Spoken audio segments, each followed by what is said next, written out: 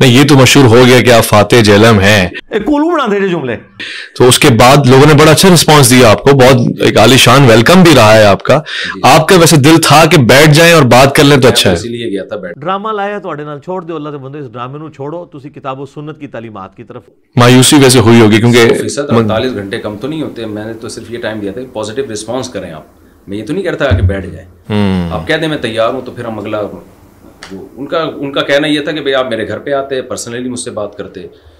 तो मेरा दावा ये था कि भाई जो काम ओपनली हो रहा है अब तक जो कुछ हो रहा है सबके सामने होना चाहिए ना। मेरे और आपका तो इंजीनियर साहब का कहना ये था कि नीचे आप आके बैठ के मुझसे बात करते हम आपको प्रोटोकॉल देते एयरपोर्ट से लेके आते।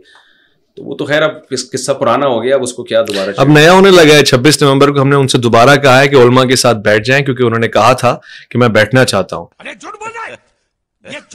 तो हमने कहा आप जॉन सभी आलम कहते हैं खुद मुफ्ती हनीफ कुरैशी आपसे तलबगार हैं इस बात के कि बैठ के किसी के अकायद के ऊपर एतराजात करने से बेहतर है अवाम को। मुनाजरेबाजी गलत चीज़ है लेकिन फिर अच्छा पता है नानू?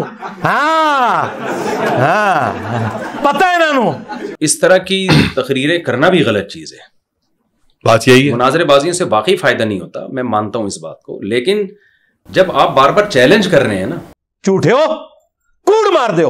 किसी चीज़ पे। तो चैलेंज का मतलब ये होता है कि मैं फेस करने के लिए तैयार हूँ कि जब आप चैलेंज करते हैं ना तो चैलेंज का मतलब होता है कि फिर फेस करना उसको। चैलेंज मैंने कब कहा उनको? मैं तो कभी भी नहीं किसी को। चैलेंज जो हम इंग्लिश में लफ्ज इस्तेमाल करते हैं चैलेंजिंग सूरत हाल है। यह आपके लिए चैलेंज मान गया है कि आप चिश्ती रसुल्ला अशरफ रसुल्ला पे हमें नहीं अपनी पब्लिक को सेटिस्फाई करो। मुनाजरे का चैलेंज तो मैंने कभी भी नहीं किसी को दिया मेरे भाई।